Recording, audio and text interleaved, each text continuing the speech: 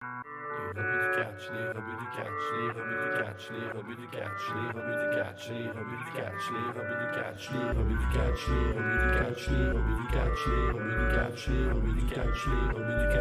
Rebuts du catch, les. Sois curieux, c'est plus qu'une catchphrase. Sois curieux, c'est un mode de vie. Sois curieux, c'est plus qu'une catchphrase. Sois curieux, c'est un mode de vie. Cody, Max, pis Fab. Si tu veux du plaisir, t'es au bon endroit. Cody, Max, Sao pis Fab. Y'a du respect quand tu parles, la gueule de l'emploi. Puromania, les tops du mois. Cody McQuarrie, toujours là. S'il y a des kicks et des claques, s'il y a des kicks et des claques, tu peux compter sur les rebuts pour faire une review de ça. Les rebuts du catch, les rebuts du catch, les rebuts du catch, les rebuts du catch, les rebuts du catch, les rebuts du catch, les rebuts du catch, les rebuts du catch. Hey, sois curieux, c'est plus qu'une catchphrase. Sois curieux, c'est un mode de vie. Sois curieux, bienvenue dans la rebut. Sois curieux, c'est un mode de vie.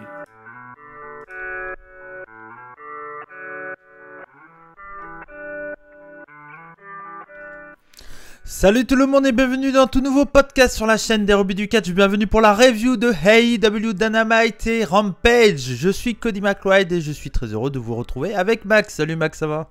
Salut Cody, bah ça va, impeccable, impeccable. Ouais, ouais, ouais, on a eu une petite semaine euh, de AEW plutôt sympathique, clairement. Oui, à Comme euh, à peu près chaque semaine, mais mieux, je trouve. que Certaines semaines, on va dire, euh, quand il y a, généralement, des fois, il y a des shows qui sont un peu, un peu on va dire, filler. Celui-là, c'était un bon show filler, fait. C'était un bon show filler, oui. Enfin, les deux, quoi. Surtout euh, Dynamite. y a pas... On a des bons matchs, on a rien d'exceptionnel non plus, on a des matchs un peu moins bons. Ouais, ouais. Moi je dirais que c'est dans la lignée.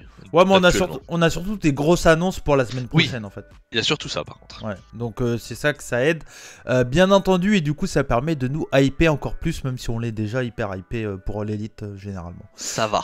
Ouais, ça va. On n'a on a pas trop à se plaindre là-dessus. En tout cas, merci à vous de nous choisir pour avoir euh, l'analyse complète de All Elite euh, chaque semaine. En tout cas, ça fait plaisir. Vous êtes de plus en plus nombreux à nous écouter chaque semaine. Merci à vous et également en version podcast sur toutes les plateformes de podcast Spotify, Apple Podcast, Google Podcast, Deezer, Stitcher et euh, sûrement une autre que j'ai pas comme ça de tête. Mais voilà. N'hésitez pas à aller voir et surtout à vous abonner et à laisser des étoiles sur Apple Podcast. Oui, cette fois-ci, on peut dire laisser des étoiles hein, parce que c'est la, note de, de Apple Podcast. N'hésitez pas à noter le podcast. Plus vous serez nombreux à le noter et plus on augmentera dans les ratings. On essaye d'aller chercher les antipodes de, la lutte. hein. On y va. Allez, allez, allez, allez Ils- sont 9 sur, euh, sur euh, les podcasts catch dans tout le monde. Donc on, peut, on a encore un peu de marge. Il y a du taf. Ouais, il y Alors, a un peu allez-y, de hein. taf. Donc on compte sur vous, hein, vraiment d'aller euh, sur. Si vous nous écoutez sur Apple Podcast, n'hésitez pas vraiment à donner une note sur le podcast, ça, ça fera que aider vraiment. Euh, donc euh, surtout voilà, n'hésitez pas à laisser des 5 étoiles. Vous pouvez également, si vous le souhaitez, euh, nous suivre sur les réseaux, les réseaux sociaux, Cody Rebu, Max Rebu et le compte officiel Les Rebuts du Catch. N'hésitez pas également à vous abonner sur la chaîne YouTube, à devenir membre de la Rebu Family si vous le souhaitez pour euh, soutenir la chaîne. Euh, surtout que là, que, euh, attention, l'association elle arrive là. Là, faut vraiment qu'on se motive, mais on va, on va le faire. T'inquiète, t'inquiète, t'inquiète, frangin, on y arrive. Ça fait longtemps que j'entends celle-là. Ah, ça fait 7 mois. Mais euh, cette fois-ci, là, là, là, je me suis dit, il faut vraiment qu'on y aille. Un jour, faut que, faut que, voilà, faut que je passe le pas. Euh, mais ça, et puis également, si vous le souhaitez, bah voilà, Spreadshirt, si vous voulez acheter des t-shirts des rebuts du catch. Bon, allez, on va pas perdre de temps parce que nous, juste après, on a le G1 Climax à regarder. Donc, on va y aller, on va y aller. Et on commence tout de suite avec la review de AEW Dynamite. Où était le show, si je dis pas de bêtises, c'était dans le New Jersey. Euh, J'ai oublié d'ouvrir Ah. la page, excuse-moi. J'avais oublié cette étape. Euh, y a pas de souci. J'ai dit à Max, tu prendras le. Ouais, ouais, t'inquiète. T'inquiète, t'inquiète, je m'en occupe, fais-moi confiance. Voilà. C'était dans le New Jersey, c'est ça, à Newark. ok. Et c'était quoi le- la salle? Euh, le Prudential Center, 13 000 personnes. Ok. Ouais. Mais souvent, tout le temps, des belles salles hein, pour l'élite Dynamite. Entre 10 et 15 000 personnes en moyenne. En moyenne. On va dire. on- Après, ils un peu- mettent, dans, dans la tendance, ils mettent CA 13 190. Donc, Ouais, c'est, euh, la capacité, hein, c'est peut-être pas le- la tendance réelle. alors. Oui, oui, oui, c'est vrai. On n'a pas la tendance, je ouais, pense. ouais, Mais ok. le- voilà, le- l'arène Mais fait bon. 13 000. Ouais, ouais. Mais euh, moi, je savais que c'était dans le New Jersey parce que j'ai vu le, le fan euh, qu'on voit tout le temps à tous les shows Game Changer, ICW, euh, Knowles Bard et toutes les promotions qui sont dans le, dans le coin euh, en indépendance. Et le mec a les cheveux longs qui ressemble un peu à Mike Foley. Et on le voit dès le, le début du show en fait. Et, euh, il- me suit sur Twitter. Hello, euh, je sais plus comment il s'appelle, Mathieu ou je sais pas quoi. Tant qu'il ne suit pas dans la rue. Ouais, non, ça va. Non, mais on se, on se follow sur Twitter, on se follow. Mais j'aime bien, j'aime bien le suivre parce qu'il met plein de photos quand il va voir des shows. Donc, euh, et comme il va voir tous les shows que j'aime bien, donc du coup, ça me permet d'avoir des photos. Le show débute avec la musique de CM Punk et j'avais l'impression que c'était son arrivée hein, parce que l'ambiance était dingue. hein. Bah, comme d'hab, à chaque fois qu'il arrive, de toute façon, euh, Ouais. les gens n'ont pas forcément vu dans cette arène-là, donc ils sont. C'est ça, les c'est gens ça. s'en foutent, c'est logique. Ah là, C'est logique. euh, je pense que dès qu'il y aura une nouvelle arène ou son, enfin, qui a jamais vu, CM enfin, de toute façon, dès qu'il y aura une arène, euh, CM Punk va débarquer, ça, ça va être de la folie. Les gens seront heureux de, de le voir. Quoi. C'est clair, c'est clair. Il va Mais, pouvoir euh, aller se jeter dans le public. Ouais, c'est ça. Il a fait un petit slam, encore un beau slam, un beau saut. Il y, avait un Patrick. groupe de, de hardcore, c'est Gorilla Biscuit. Bon, je pense pas que ça va parler à, à beaucoup de monde. Et c'est eux, euh, ils- quand il y avait des mecs qui faisaient des, des slams dans le public comme ça, il y avait des, des gars du, du crew, du groupe, ils avaient des pancartes avec des notes sur les slams. Genre, il y a un mec qui slamait et puis euh, il y avait un mec qui sortait un 8 sur 10, tu vois, un truc comme ça. Moi, je pense que là, le slam de CM Punk, on peut au moins mettre un, un bon 8,5. Hein. C'était c'était un, un slam solide.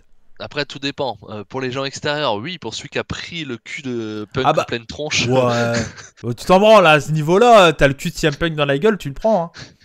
Ouais. Euh, C'est vrai qu'il y en a un qui, a- qui a- qui se l'est bien pris dans la Bah tronche. ouais. Non, mais le, le saut, euh, il y avait la dextérité, quoi. Ah, il, euh, il y va. Il Ouais, a pas peur. ouais, il a pas peur. Bah, euh, en même temps, c'est un fan de hardcore, hein, euh, euh, CM Punk. Ça m'étonnerait pas qu'il écoute Gorilla Biscuit, hein, qui est un groupe légendaire de hardcore. Euh, le nom est cool, hein, Gorilla Biscuit. Donc, euh, donc voilà. Bref, c'était le, le petit, euh, la petite analyse slam. Euh, on le fera dès qu'il y aura CM Punk dans l'émission. Ça sera l'analyse. Le show commence avec un match. Du coup, juste après ça, parce que oui, CM Punk rejoint les, les commentateurs. Donc ça, ça fait plaisir. hein, parce que c'est pas comme CM Punk était un mauvais worker. Quoi. Non, c'est Hein, pas le... On va pas dire ça. Ouais, c'est ça. C'est ça. C'est plutôt un, un bon, un bon commentateur, enfin un bon euh, mec au micro, et un bon commentateur aussi, hein, parce que je trouve qu'il a apporté des, des trucs plutôt sympas. Moi, j'ai- j'aimais bien quand il avait fait commentateur chez VVE. euh, Il avait après, commenté quoi? euh, euh, bah, Il avait commenté pendant quelques mois. euh, C'était après sa blessure quand il avait. euh, Juste avant qu'il reprenne euh, le, le Nexus. Ok. C'était juste avant qu'il reprenne le Nexus, c'était fin 2010 du coup, où il a été blessé quelques temps et il était, il était pas mal au micro euh, en commentateur et c'était pas mal. Ouais. Ok. Ouais, oui, oui. Moi, je m'en souviens pas, mais euh, je te fais confiance.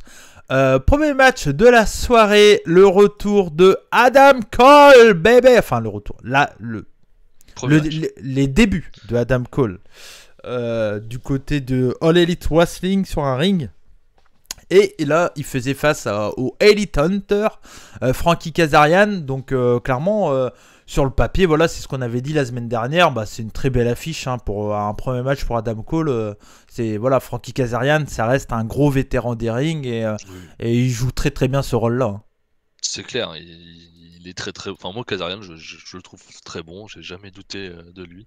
Et Ouais. j'aime bien sa position là, euh, anti-élite, euh, Ouais, ouais. à venir les faire chier dès qu'ils peuvent. Oui, oui, il est, il est très bien dans cette place-là, hein, de toute façon. euh, ça, j'ai.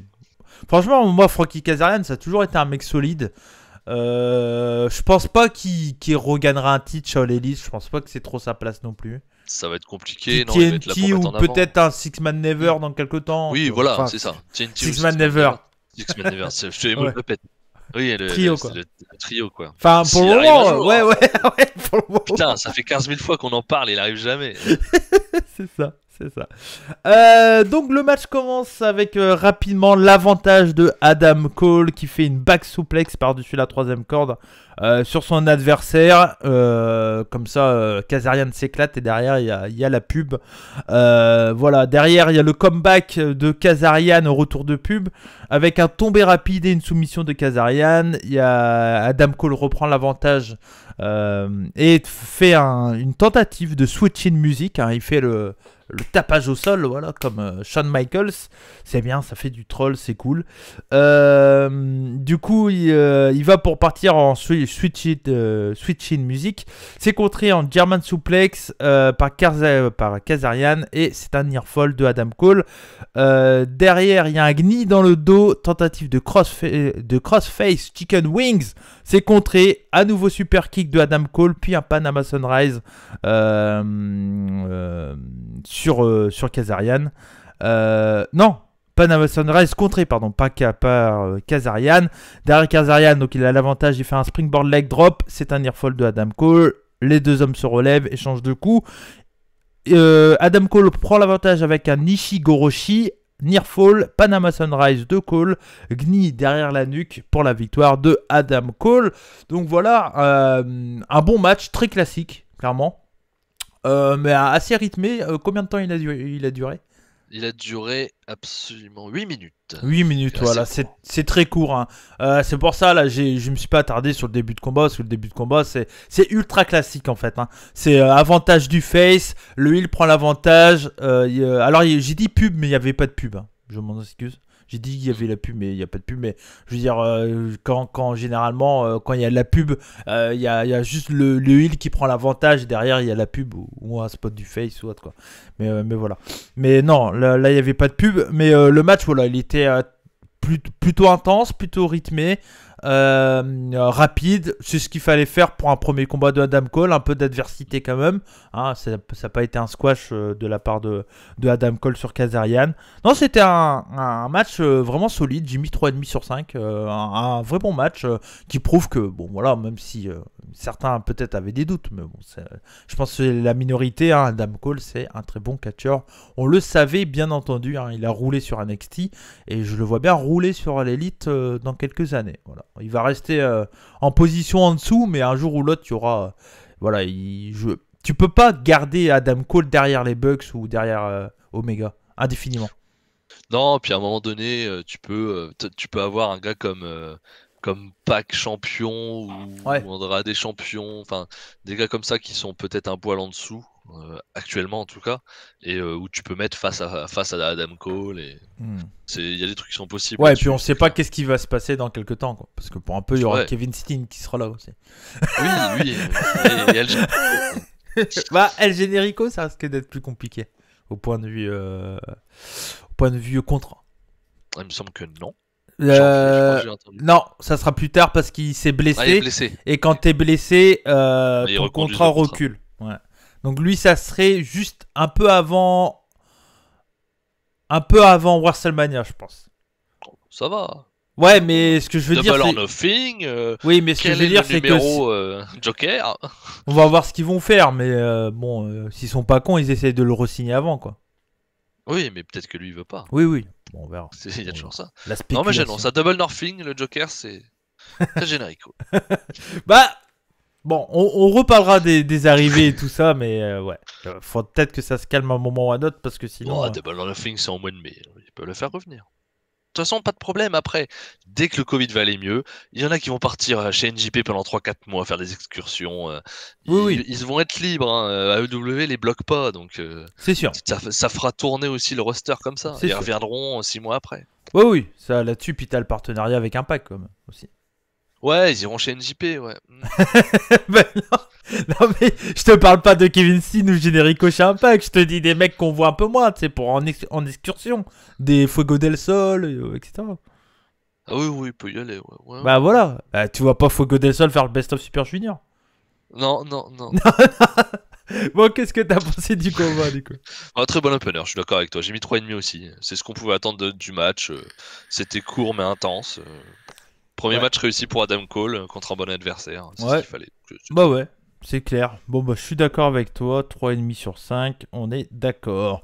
Euh, derrière, euh, le match, Cole, il prend le micro, il dit qu'il en veut à Christian Cage, Luchasaurus et Jungle Boy, et il dit que lors de Rampage Grand Slam, donc euh, la semaine prochaine, on y reviendra sur la ca- carte complète après, il veut les affronter et il sera en équipe avec les Young Bucks et il dit que la Super Click est de retour. La Super Click, le- c'était leur, euh, leur nom qu'ils avaient à PWG et tout Sûrement, oui. Mais Ouais. d'où le troll aussi euh, sur Shawn Michael. Oui, oui, oui. La clique, oui, oui, oui. Oui, bien sûr, parce que pour ceux qui ne sont pas au courant, à l'époque, donc X-Pac, il y avait qui là dans la clique? Shawn Michael, bah, X-Pac, Kevin Nash, Scott Hall, Triple H? Triple H. Ouais, c'est ça. Donc c'est à la, la clique. Et quand il y a eu euh, le gros moment Bullet Club à fond et tout ça, bah, ils, se foutaient vachement de la gueule de NWO, la clique, etc. etc. Et eux, du coup, ils s'étaient appelés la Super Clique. Euh, donc voilà. Bon, c'est. c'est bien, moi j'aime bien ce genre de truc. Oui, et puis il y, a, en fait il y a le mélange entre la clique et le fait qu'ils font des super kicks tous les trois. Oui, ouais. Donc c'est le mélange entre les deux. Bah ouais. C'est ça le principe. Ouais, ouais. Euh, promo des Lucha Brothers qui parle de Butcher and the Blade euh, parce que Butcher and the Blade sont numéro 1 au ranking et on aura le match euh, ce vendredi à Rampage donc on y reviendra un peu plus tard. Promo de Tony Scavoni avec Fuego, Fuego del Sol et Sami Guevara. Fuego dit qu'il a, il dit qu'avec le contrat de All Elite Wrestling qu'il a réussi à avoir après euh, sa malheureuse défaite contre Miro, euh, il s'est acheté une nouvelle voiture. Il s'est fait plaisir, le, petit Fuego. Fuego del Sol. Euh, et il dit qu'il veut un, rematch pour le TTNT et il propose même de mettre sa voiture en jeu. en plus du titre, bien entendu, TNT. Et on aura la réponse plus tard de, de Miro. Voilà. Donc c'est ce qu'il demande et il dit qu'il veut ça à Rampage. Donc voilà. Juste Fuego, c'est une voiture en fait. Ouais, c'est vrai. Eh. C'est con qu'il avait pas acheté. Ils pas cons les gars. C'est con qu'il avait pas acheté une Fuego. c'est une voiture. Moche. Ouais, c'est moche. Imagine le mec qui s'appelle. Avec mon contrat, j'ai pu acheter une Fuego. On va putain payer le mieux. Euh, Imagine le personnage. Je m'appelle Multipla del Sol. oh le Multipla, qu'est-ce que c'était moche. Ah, c'était moche, bien sûr. Bien sûr, bien sûr. Euh, promo de Maxwell Jacob Jacob pardon, Friedman et je vous conseille fortement un reportage que j'ai regardé. Euh, c'est ah putain j'ai oublié le, nom du mec, c'est Kenny Johnson je crois. Euh, c'est un mec qui fait beaucoup de, reportages sur des catcheurs indépendants. Euh, il a fait un peu parler lui ces derniers temps parce qu'il a fait un gros reportage sur Matt Tremonto. et là il a fait un note sur son match de son match qui euh, Matt Tremont aura contre euh, Atsushi euh, Onita en deathmatch Barbed Wire et tout ça. Et en gros, ce mec-là, il a fait beaucoup, beaucoup de, de, reportages sur des catcheurs indépendants. Il en a fait un sur la rivalité Darby Allin, Ethan Page. Il a fait un sur Orange Cassidy.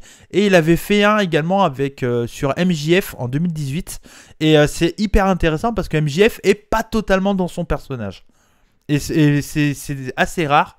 Et euh, du coup, on voit un peu. il reste quand même MJF et tout ça, mais c'était en 2018. Donc il avait uniquement deux ans de catch. Hein. Et euh, le mec, il, avait déjà tout ce qui fait sa, sa popularité en fait sur l'élite. Il avait déjà au bout de deux ans de carrière, quoi. Et c'est marrant parce qu'on le voit dans sa chambre d'étudiant et tout ça. Enfin voilà. je peux vous, vous taper reportage MJF. Je pense que vous allez euh, le trouver rapidement. C'est un truc que je peux que vous conseiller. du coup, promo de MJF, Max. Euh, oui, bah t'as GF qui continue à, bâcher euh, Brian Pillman Jr., bien entendu. Il dit qu'il est pas là aujourd'hui, euh, donc il, parle, il continue à dire qu'il. Enfin, continue à chier dessus, on va être très clair. il, il dit à un moment qu'il aimerait parler avec son père, donc il regarde vers le ciel. Puis après, il fait Ah bah non, puis il regarde vers le sol. Ouais, putain. quel, bâtard. Ah ouais, mais c'est... j'étais là, mais quel enculé, quoi. Il est bon pour être un, ah. sacré enculé. Ah, mais c'est un vrai sac à merde, hein. lui. Euh, ouais. Et nous, on aime les sacs à merde. Ah ouais, ouais. Bah ouais, dans le catch, hein, c'est... ça marche. C'est hein. clair. Ça marche très bien. Mais ouais, voilà, ça... j'imagine que c'est le côté un peu euh... paradis enfer qui sous-entend. Je sais pas j'imagine le côté les entrailles de l'enfer. Euh, bah moi je le ciel. Ah non en fait je vais plutôt regarder bah, vers le sol. Moi c'est surtout parce que bah, Brian Piman est mort donc automatiquement il regarde le sol parce oui, mais il regarde vers le ciel au départ aussi parce qu'il est mort. Donc, oui. Euh, je pense qu'il y a un côté ah non il, doit pas être au ciel euh, vu que c'est une. Oui peut-être. Il a pris de la merde. oui peut-être. Ouais. Côté... ouais bon après il est enterré quoi donc c'est pour ça. Ouais je, sais pas si c'est ça ou si je me suis hmm. demandé tu vois je me suis demandé s'il jouait sur le côté. peut-être. En plus il, il, est pas au paradis quoi. Hmm. Après, je, connais pas trop euh, tout ça. Euh, il, lui dit que qu'il a fait le qu'il a fait que donc il, parle, il parle à son père hein, au père Pillman il dit qu'il a fait le pire euh, pire catcheur seconde génération all time et qui va le massacrer. Ouais. Donc la musique Pillman démarre, donc en fait il est là. Ouais. Euh, Il y a Wardlow qui l'attend à l'entrée, mais il arrive par derrière, par l'autre côté, Ouais. par le ring, et euh, avec une chaise. Mm. Mais euh, Wardlow arrive à revenir, Wardlow intervient. Euh, claque de Pillman sur, Ward- sur Wardlow qui évite euh, la chaise, Ouais. qui fait passer Wardlow par-dessus les cordes. Et du coup, bah, MJF et Wardlow se cassent et Pillman reste Ouais, tout ouais. seul sur le ring. Euh, Pillman reste fort pour euh, là. Bon, Pour voilà. pouvoir perdre euh, la prochaine fois. Oui, voilà. ouais, mais c'était, c'était bon, encore une fois, promo de MJF hyper efficace. Ouais, Euh, MJF, il est, il est incroyable. Bah, quoi. Euh, MJF a dit que euh, donc euh, il se fout la gueule du père mort, Mm. euh, qui- qu'il est le qu'il a fait le pire euh, deuxième génération de catcheur, euh, que sa femme aurait dû avaler, euh, sa, ma- Ouais. sa mère pardon aurait dû avaler, Ouais. euh, qui va faire ce que sa mère a pas osé, c'est-à-dire l'avorter. Ouais. Il avait- il y va il- fort, hein, le Il a, père. il, il a pas dit ça. à- C'est pas à Wardlow qu'il avait dit qu'il allait l'avorter? Si, c'est à Wardlow, À je crois. Ouais, Pourquoi non, c'est pas. C'est pas à Wardlow quand il lui a dit euh, quand il a dit à Wardlow de, de, se de se barrer dans le coin, tout ça. Il lui dit pas un truc comme ça à Wardlow Non, il, il dit à Brian Pillman que, euh, D'accord, d'accord. que lors, lors de leur combat, il va faire ce que sa mère n'a pas Ah oui, faire oui, à l'époque, il va l'avorter quoi, il va, D'accord, il va le buter quoi. Ok, ok, d'accord. Ah oui, oui, ok. Mais non, mais je parce Donc, que euh, mais il parce que il, il avait pas dit un truc à Wardlow la semaine dernière. Tu sais quand Il Wardlow il... Oh, il lui a dit de rester dans le coin. Ah ouais, euh, d'accord, ok. Vas-y, je m'en occupe quoi. Ok, ok. Ouais, ouais. Non, non. Parce que C'est après qu'il a enchaîné. euh, Ah. D'accord, ok. Ok, ok. Euh, mais, euh, mais voilà, mais euh, costaud, et du coup, c'est annoncé bah, Brian Pillman Jr. qu'on aime JF mercredi prochain. Euh, ça avait été de- demandé par Brian Pillman Jr. et ça a été officialisé. Euh, du coup, derrière, tout de suite, promo de Jim Ross et Brian Pillman Jr. Bon, je suis pas fan de faire ça. Non, je vois pas trop l'intérêt vu que t'as eu une pro, t'as eu déjà Ouais. un, un angle juste avant. Ouais. Et en plus la promo est pas folle de Pillman. Ouais, Bah, et puis- Pillman n'a pas le micro de MJF, hein, on va pas se C'est ça, et puis ça a été enregistré avant, on le sait très Oui. bien. Donc, euh, Puis il dit en plus, enfin, il dit juste que MJF n'a jamais combattu un gars comme lui, quoi. Enfin, ouais, il dit des banalités. Pillman hein. Junior, t'as rien, t'as rien prouvé encore, Pépère. donc, Ouais, euh, ouais. Après, il finit par dire qu'il va montrer, qu'il va monter sur un ring contre un Pillman. Ouais. C'est vrai. Bon, voilà, c'était pas, pas nécessaire cette euh, promo-là. Euh, promo de Jurassic Express et Christian qui acceptent le défi euh, de Adam Cole. Euh, du coup, voilà, on y reviendra après, mais la semaine prochaine, on aura un gros six-man. Ensuite, un match qui avait pas été annoncé, Ah, je crois. Il y a quand même Jungle Boy qui dit qu'il a de meilleurs amis que Adam Cole et de plus beaux cheveux. Très important. Ça se passe sur les Ah. cheveux entre Jungle Boy et Adam Cole. Attention. A la plus belle crinière. Ah ouais. Bah, c'est eux qui doivent faire un R con R, pas. Ah, je pense qu'il n'y en a aucun des deux qui veut perdre leurs cheveux aussi. c'est vrai, effectivement. Mais ça, ça, ça serait bien. Euh, FTR contre Matt Seidel et Dante Martin, c'était pas annoncé ça. du tout. euh, c'est sorti un peu de nulle part. Ça a peut-être été annoncé euh, sur les réseaux juste avant. Ouais, Mais en tout cas, c'était pas annoncé dans les Dynamites ou, ou dans les Rampage. C'est ça, c'est ça, c'est ça. Euh, ben franchement, euh, j'ai eu le match que je m'attendais. hein. Franchement, c'était vraiment un, très bon euh, tag team match. Un match où, bien entendu, on a tout l'expérience par équipe de FTR qui travaille parfaitement en équipe. Et puis, bah, Dante Martin et Matt Seidel qui est, clairement, voilà, là, c'est deux mecs qui sont en équipe de base, les deux avec leurs frères. Hein, voilà. Mais il y a un qui est expérimenté et l'autre qui est jeune dans le métier. Un peu ça. Et du coup, ça travaille, ils travaillent ensemble et plutôt bien au final. Euh, même si on sent voilà que FTR ils jouent vraiment le fait qu'ils sont vraiment complices, qu'ils se connaissent parfaitement, etc., etc.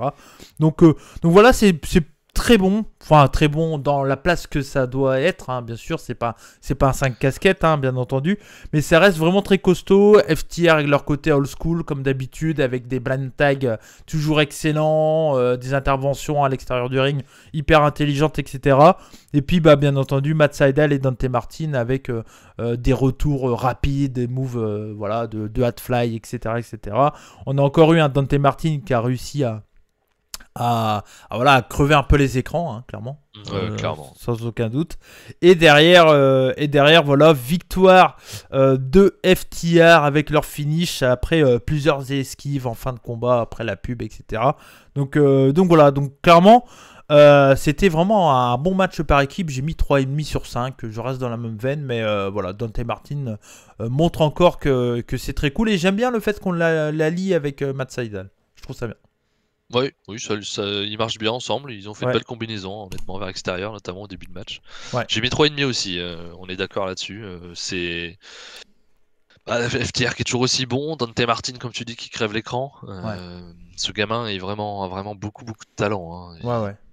Bah, pour son âge, il fait vraiment des trucs sans, sans se rater, quoi, vraiment sans hésitation, etc. Donc c'est vraiment très bien. Le match est, est rythmé, il est court, hein, il fait 9 minutes. Ouais, ouais. C'est tout ce qu'on demande à un match de weekly de mid-card, quoi. C'est ça. C'est ça, et puis ça met bien. over euh, tout le monde en fait. Tout le monde sort clair. over de ce match-là. FTR est over parce qu'il gagne, ce qui est tout à fait logique et ça Ouais. leur donne un peu de victoire. Euh, Dante Martin est over parce que bah il crève l'écran. Ouais. Peut-être Matt Seidel qui est un peu en retrait parce que Oui, Dante mais Martin c'est sa place de mettre over les mais- autres. Mais voilà, il est plus là pour, pour se mettre over lui, euh, Hmm. Ouais. c'est très bien. Pendant ce combat, il y a eu une pub pour la TV réalité de Cody Je Rhodes. noté. Et, et- et j'ai un petit défi pour les auditeurs des, des revues du catch. Euh, je vais pas vous dire euh, 5000 likes parce que je sais très bien qu'on les atteindra pas. Mais si on fait, allez, 50 likes sur cette. euh, ça va, 50 likes en vrai. C'est jouable, c'est largement jouable. Il y a plus de 400 personnes qui en moyenne nous écoutent en version YouTube et un peu plus et un peu, euh, on va dire entre 50 et 60 en version euh, euh, podcastique, c'est plus une centaine, on va dire en tout en version podcast. Euh, donc là, il y a largement moyen. de- si vous euh, si vous mettez 50 likes, euh, il y aura une review du premier épisode de la télé-réalité de, de Cody euh, Rhodes euh, par moi-même. Voilà, je vous le dis, je le ferai euh, parce que j'ai envie de le faire pour le, pour le fun aussi. Parce que je pense qu'il y y a moyen de raconter un peu de, des trucs un peu drôles et puis ça changera un peu de ce que j'ai l'habitude de faire sur la chaîne des rebuts. Donc si vous souhaitez avoir cette super review du, du premier euh, épisode de la télé-réalité de Cody Rhodes, c'est Rhodes to the Top. Je crois que c'est ça le nom du, du truc. Euh, J'ai pas retenu. Je crois que c'est ça le truc. Euh, le- le- le- L'émission aura lieu le 29 septembre, euh, juste après Dynamite. Et donc, si vous souhaitez avoir une review, 50 likes et je le fais. Voilà. Et je vous laisse euh, jusqu'à la, euh, le prochain épisode. Si au prochain Moi, épisode, il n'y a pas les 50 likes, Moi j'abandonne Cody sur ce coup-là. hein. Je, je, peux, je peux pas, j'ai piscine, j'ai hockey subaquatique, je suis pas disponible. là, je, je, logiquement, je le ferai seul. Et peut-être pas, je sais pas. Ça dépend. Mais en Et tout s'il y cas, a voilà. 200 likes, il le fera toutes les semaines. ouais, ouais, voilà, ouais, exactement, exactement. 50 likes, one shot. 200 likes, toutes les semaines. Bon, ça m'étonnerait qu'on ait les 200 likes, donc je suis assez tranquille. Mais, J'ai voulu mettre assez haut pour pas de... que tu prennes trop de risques. c'est ça. Donc voilà, 50 likes, et je vous fais la review du premier épisode de Road to the Top euh, le 29 septembre. Donc voilà. Donc euh, à vous, euh, le destin est entre vos mains. À vous les studios. le destin est entre vos mains. Donc voilà. Mais euh, moi, ça me ferait plaisir de le faire. Quel destin. Pff, bon, ah, on verra, on verra. Mais c'est à vous de. Tu vas avoir les 200 likes, toi, tu vas pas, tu vas pas comprendre. Non, je... euh, bah, je serais très heureux de les avoir, mais j'y crois pas une seconde. j'y crois pas une seconde. Euh, bon, voilà, faut pas qu'un mec comme Sturi ou autre partage et dise ah, allez liker, sinon je suis dans la merde. Partage le podcast, Sturi, s'il te plaît. Euh, non, mais voilà, peut-être, eh, on peut les atteindre grâce à vous aussi. Si vous partagez tous, vous êtes en moyenne 400, et on peut atteindre les. euh, Les on 200. va cuter le morceau sur la vidéo, foutre ça sur Twitter, hop, on va tag Norbert, euh, Stury, tout le monde, allez. Euh, donc voilà, à vous de choisir. Promo de Lance Archer qui est accompagné de Minoru Suzuki, le Suzuki Gun in the place. Voilà. Et il défie du coup Moxley et Kingston pour la semaine prochaine. Mais c'est très cool, c'est la continuité de, de la chose. Hein. Voilà. Alors, on pensait qui- pas forcément revoir Suzuki, Ouais. donc euh, chez W, on a l'impression que c'était plus un one shot euh, Ouais. sur le match. Non, il continue la rivalité, donc euh, Bah, tout te faisait penser que c'était un one shot. hein. La Ouais, clairement, du ouais. match, la façon du match, comment a été booké. On avait été déçus, hein, on l'avait dit la semaine dernière. Euh, là, voilà, sur le papier, bah, moi je suis pas contre un tech team. Euh, Lance Archer, Minoru, ça, ça marchait bien hein, du côté du, du- Oui. Japan. Donc euh, donc c'est cool. Et je suis plutôt content qu'ils remettent euh, un peu de place au Suzuki Gun qu'on n'entend plus trop parler au Japon. Donc euh, comme euh, Minoru est pas là. Et je suis content aussi que Suzuki puisse montrer autre chose. J'espère qu'il montrera autre chose, mais en tout cas qu'il ait une autre possibilité de, de faire quelque chose autre que ce qu'il nous a montré la semaine dernière. C'est ça, c'est ça, c'est ça. On va éteindre la lumière parce que c'est l'heure de Malakai Black. Ah, je- Merde, je vais le voler. Ouais, on est bon en van. Hein. Ah, ça en est drôle, hein ah, ça, c'est pour ça qu'ils nous choisissent, hein, bien sûr, euh, les auditeurs. Parce qu'on fait des bonnes vannes. Euh. Qu'on à la lumière, ça change absolument rien. C'était pourri. Euh, Malakai Black, qui fait son apparition toujours aussi classe, hein, Malakai. Bien C'est entendu. clair. Et euh, il va pour prendre le, le micro euh, pour parler de Cody, bien entendu. Et il dit qu'il y a une intrus. Voilà, il y a, il y a une fan de Cody Rhodes, c'est Rosaria. Et euh, c'est une actrice que je ne connaissais Oui. pas. Non, moi non plus, mais elle a joué dans des Marvel. Elle est médecin dans plusieurs Marvel, apparemment. C'est D'accord. C'est une actrice assez connue, hein, de ce que je- Apparemment, oui. Donc voilà, moi je connaissais pas. Et elle porte un beau jogging de la Nightmare Family. Voilà. Et donc, euh, euh, c'est un, gros coup, d'après ce que j'ai compris, pour euh, l'élite hein, de l'avoir hein, sur un show. Donc, pour le coup, voilà, c'est très bien. Et là, donc, Malakai va vers elle et Cody arrive du public tout en rouge. Un beau Cody. Bien, beau en rouge. Et quand Malakai regarde Cody, il y a Rosaria qui, le, le fait une espèce de Lui saute sur le dos. d'étranglement, voilà, le saute sur le dos. Euh, et derrière, euh, Cody arrive, bagarre entre les deux, ça part dans le public, ça se frappe la gueule, etc. etc. Euh, Il y a un verre qui a été explosé. euh, dans un premier temps, Cody jette, jette un verre, mais jette le liquide du verre dans la tronche de Malakai. Malakai, lui, fait pareil, sauf qu'il éclate le verre sur la tronche de Cody. Je sais pas si t'as fait gaffe, mais il y a eu des Ouais. bouts de verre. hein. Enfin, je sais pas. Bout de verre, ou je sais pas si c'est un gobelet ou pas, mais ça a explosé un peu. Ouais, ça a explosé un peu. Mais c'était sympa. Et derrière, ça envoie la pub. Et c'est fini pour ce segment. C'était un segment efficace. hein. Oui, c'est pour rappeler le match de la semaine prochaine. Et puis, ils avaient la possibilité donc, de mettre une actrice connue. Ouais. Il y a de plus en plus de. Il joue beaucoup sur le fait qu'il y a de plus en plus de stars qui, qui vont sur les shows à l'élite. hein. On a eu euh, Giannis Antetokounmpo, euh, le, le basketteur de Milwaukee Bucks, euh, champion NBA d'ailleurs, MV- MVP de la saison dernière, je crois. Donc ce, n'est pas rien. Euh, je m'excuse pour la prononciation, c'est très difficile. Giannis, c'est Yanis Antetokounmpo, je crois qu'il fait. Bon, voilà. Là, je joue à NBA 2K en ce moment, donc je commence à me refaire un peu les, les, les noms des basketteurs. Ça commence à revenir, hein, parce que voilà, j'étais un gros fan de NBA, mais c'était à l'époque, euh, c'était en 2010. Ça a un peu changé depuis. Il y a eu un peu des nouveaux mecs. Un petit peu, oui. Normalement, euh, ça bouge un peu. C'est ça, c'est ça, c'est ça. Donc voilà, donc euh, ouais, non, mais c'est bien, moi je trouve qu'ils qu'ils mettent des stars comme ça, des Bah, mecs ça a toujours euh. marché comme ça, le catch. Ouais, ouais, ouais, c'est clair. C'est clair. étonnant. C'est ça. Euh, promo de Anadje et du lapin Bunny qui aura lieu vendredi, donc on y reviendra. Après, derrière, il y a une promo de Anadje le Dark Order.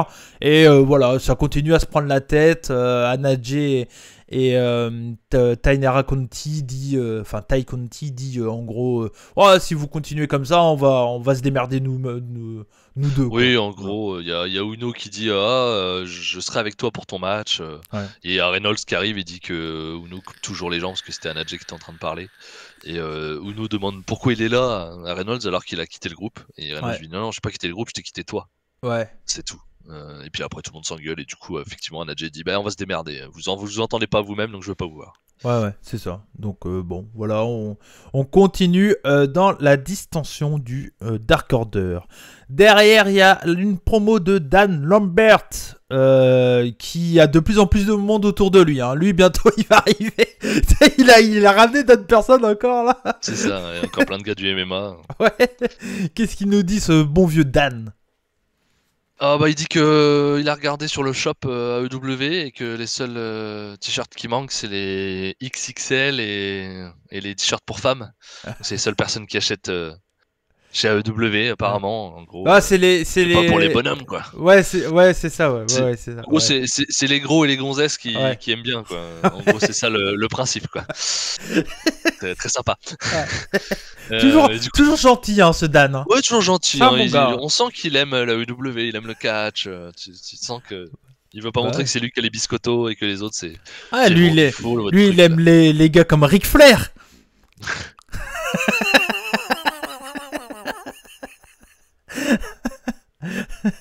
les histoires dans les avions, tout ça, il, il aimait ça, lui.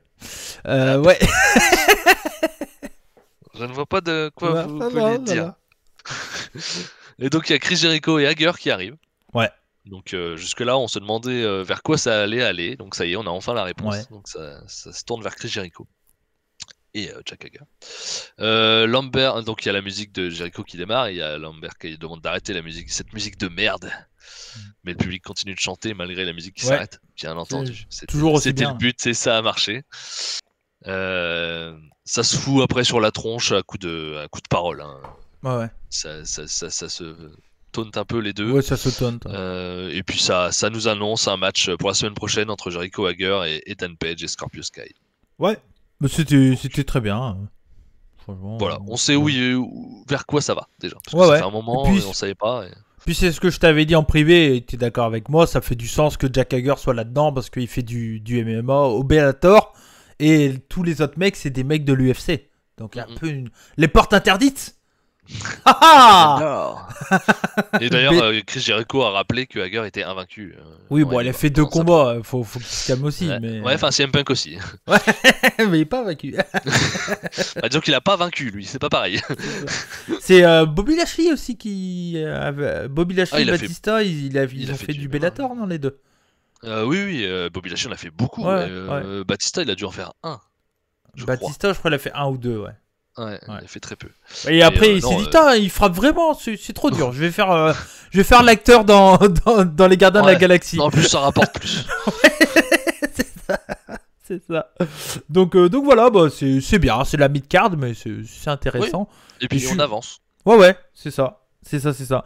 Derrière, il y a une promo du Gun Club sur Paul White, c'était pas nécessaire. Bah, le Gun Club n'est pas nécessaire. Ouais. C'est déjà ça, la base. Il n'y a, pas un moment où je me suis dit, oh, le Gun Club, euh, c'était bien. Non, Donc, euh, non, en gros, le Gun Club dit que la UW leur manque de respect. C'est pour ça qu'ils ont attaqué Paul Wright. Ouais. Voilà, ils, ils ont rappelé qu'ils étaient invaincus. Oui, Excusez-moi, je vous ai défoncé l'oreille. Oui. je m'en excuse. Des fois, je parle un peu trop près de mon micro et du Non, coup, mais il faut les titres trios, comme à ça ils auront quelque chose à foutre. euh, Ils seront en jobber dans les titres trios. Ouais. Il faut ça. Mais il est faux, putain, qu'est-ce qu'ils attendent? Ouais. Peut-être bah, euh, il- peut-être qu'ils vont en parler après le 3-3, j'en sais rien, la semaine prochaine. Est-ce qu'ils peuvent essayer de lancer un truc Je sais pas. Ouais. Bon, on verra. On verra bien ce que ça va donner de toute façon. Mais euh, je pense que ça va bientôt arriver. hein. En vrai. euh, il faut, il faut. Il y a trop d'équipes et de trios pour, pour que ça n'arrive pas. Ça serait, Mm. c'est utile. Ça serait très utile. Ouais, c'est clair. Je suis d'accord avec toi. Euh, Jet Cargill, accompagné de Mark Sterling, euh, qui fait face à Leila Hirsch, la legit Leila Hirsch. Euh, C'était un match qu'on avait dit la semaine dernière que moi personnellement j'attendais pas mal parce que c'est deux catcheuses qui une euh, que j'aime déjà beaucoup et une qui m'intéresse énormément. Toi c'est un peu ton cas aussi. hein. Alors euh, oui, j'avais peur d'un squash et que que Leia Hirsch ne puisse rien montrer. Ça n'a pas été le cas. Non, mais c'est pas loin quand même. Quoi. Puis déjà, euh, Bah, la moitié c'était- du match, euh, c'est de la pub. On a la pub, donc. euh, Oui, mais oui, mais après c'était c'était quand même beaucoup pour euh, Jet Cargill, voilà, pour euh, la faire monter, c'est logique, hein, ça fait aucun aucun aucun doute là-dessus. Mais on a quand même vu une Leila Hirsch plutôt combatif et, Oui. et plutôt cool, très intéressante toujours Leila Hirsch. Hein. Elle est green aussi, hein, elle a pas non plus Oui. une expérience de dingue, mais ça reste une catcheuse que moi personnellement, bah j'aime plutôt bien quoi. Et c'est euh, une catcheuse que voilà, moi, moi j'ai toujours aimé. Je l'avais vu débuter euh, du côté de chez euh, CZW. Et, euh, et puis voilà, et puis Jet Cargill, elle a un gros talent quoi. La meuf, elle est physique, elle, elle est, elle est techniquement parlant dans le ring, c'est très très green aussi, mais ils la font monter petit à petit. Je trouve ça bien. Moi je trouve ça. Moi, j'attends de voir parce que j'ai quand même peur dans le ring.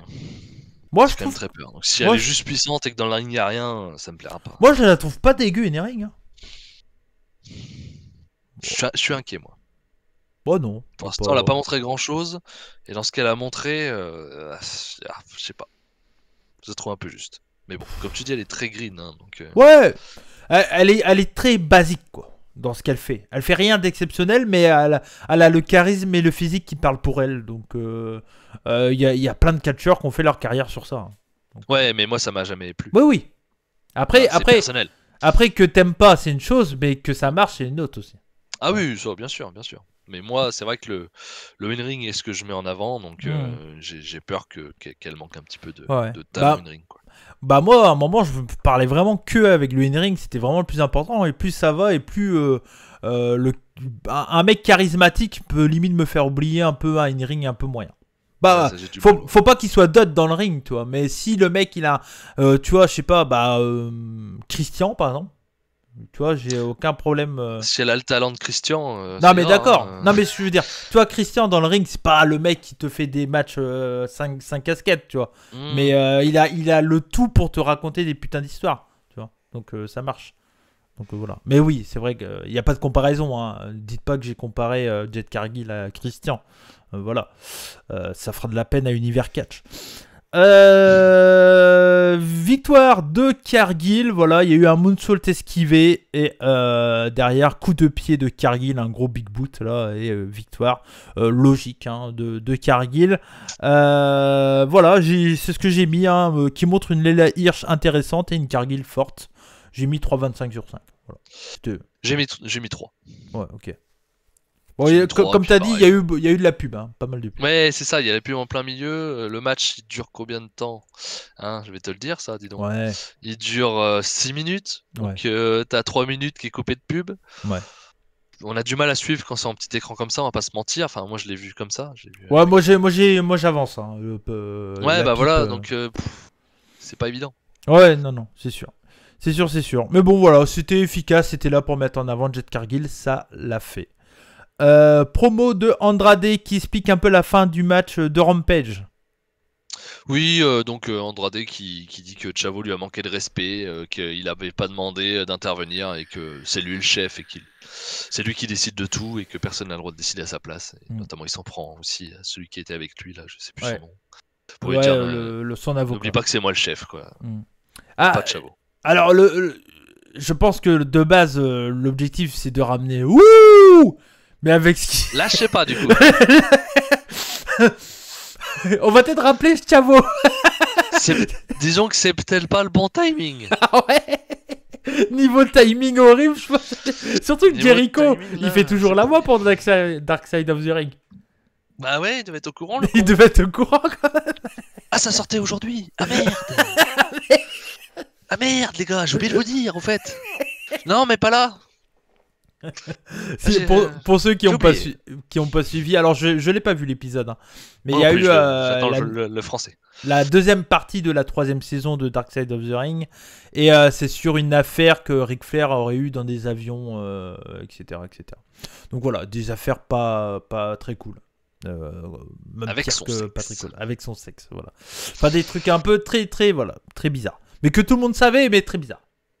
Bah Et, oui. euh, Et comme, comme on disait en off, que tout le monde connaissait l'histoire, mais que quand tu fais parler plus des victimes, bah ça devient beaucoup moins drôle. Ouais, c'est clair, c'est clair. Donc, euh, donc bon, voilà. Je pense pas que c'est le meilleur moment de ramener Ri- Ric Flair à l'écran. Non. non, Non, non. Alors, ils aiment bien faire de la euh, jouer avec Dark Side of the Ring. hein, on l'a vu avec euh, avec Nick Gage, avec Nick euh. Brian Pillman Jr. Enfin voilà.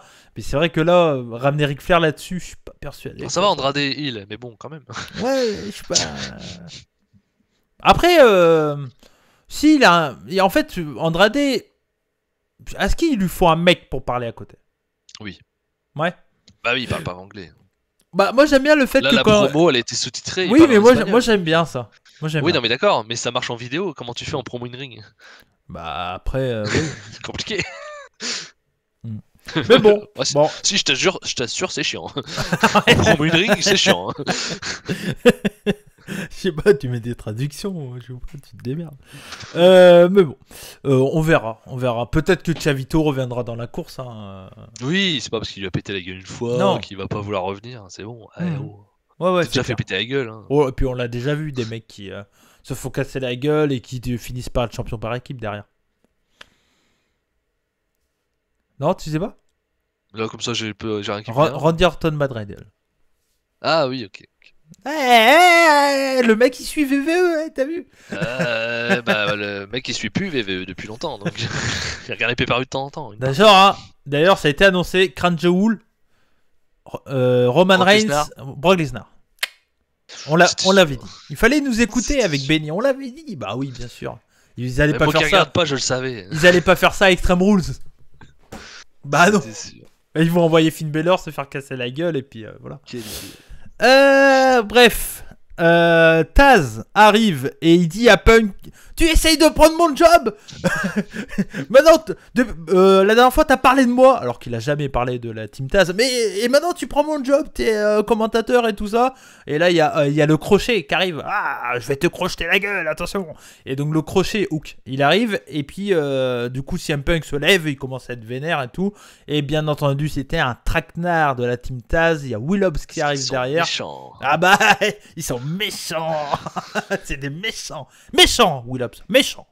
Et donc Will Hobbs arrive et euh, attaque CM Punk et le fait passer à travers une table. Enfin, devait le faire passer à travers une table. Mais la table, elle a dit nope. Elle a dit je ne casse pas. Voilà. La table des commentateurs. ouais. Bon, voilà, euh, la semaine prochaine, ça a été annoncé aussi derrière, il y aura euh, CM Punk contre Will Hobbs, euh, Powerhouse Hobbs à Rampage. Donc c'est bien. Très bien. Très bien. Ouais, ouais. Euh, On l'emmène vers autre chose, toujours pour, euh, pour mettre en avant des jeunes. Donc euh, C'est ça. c'est très bien. C'est ça, c'est ça. Une belle promo de Sean Spears derrière. Euh, J'ai bien aimé, euh, plutôt bien réalisé, avec euh, toujours l'histoire des chaises, etc. etc. Voilà, il met over un peu le combat et ça tombe bien parce que c'est le prochain combat. Sean Spears contre Darby Allin. C'était clairement la routine Sean Spears. Oui, totalement. Euh, on utilise des objets parce qu'on compense le fait que dans le ring il est cool, mais c'est pas non plus le meilleur catcheur. Euh, c'est exactement ce qui s'était passé avec Sami Guevara. Et derrière, il y a des retours de Darby Allin, etc., etc., euh, jusqu'à amener la victoire de Darby Allin. C'était ultra classique, mais très efficace euh, pour le coup. Oui. Euh, Il y a eu quand même une bonne partie du combat qui a été euh, dans la pub, encore une fois, donc c'est compliqué de. De, voilà, de bien se mettre dans le combat, mais l'objectif était là, c'était de mettre, euh, bah, de mettre tout simplement euh, euh, Aline over, de faire perdre Sean Spears pour que derrière FTR arrive et s'attaque à, Sean Spe- à Darby Allin et Sting pour voilà, la suite tout simplement de FTR et c'est très bien. FTR contre Sting et Allin. Moi j'achète Ça peut, ça peut être très bien, effectivement. On a, on a vu que Darby Allin et Sting arrivent à nous faire des choses quand même très sympas.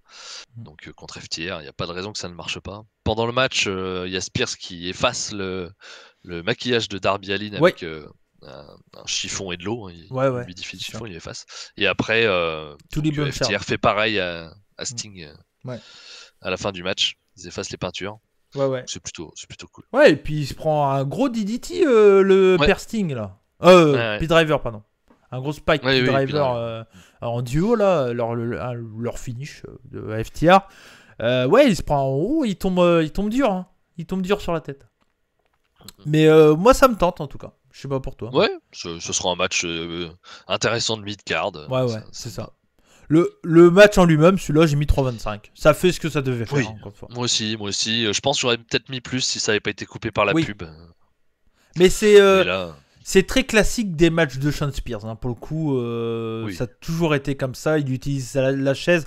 C'est un peu pour compenser euh, le fait que dans le ring, il n'est pas incroyable aussi. quoi.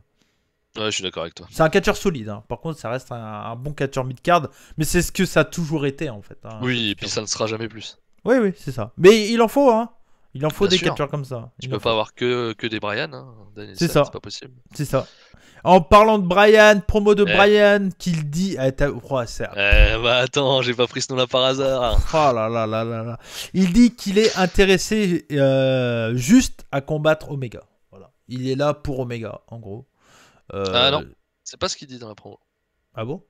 Non, non, il dit qu'il veut se battre, il est prêt à se battre contre tout le- l'élite. Un Oui, un. mais, qu'il veut commencer par Bah, Omega. Voilà, voilà, non, Voilà. mais voilà. Il, mais que- il dit qu'il est prêt à euh, les prendre un par Il veut bien Oui. les, prendre un par un. Mais oui, mais il, veut veut, commencer par il veut que son premier combat, ça soit Omega. Ouais, il dit, euh, mon pro- je veux que mon premier combat chez l'Elite Wrestling, ça soit contre Kenny Omega et, euh, et, et on verra. et on verra. Donc voilà. Mais oui, bah, après, euh, on sait que Brian, il est là pour catcher. Donc peu importe. C'est ça. il- Moi, je veux des combats, des matchs. C'est ça. Je veux me faire plaisir.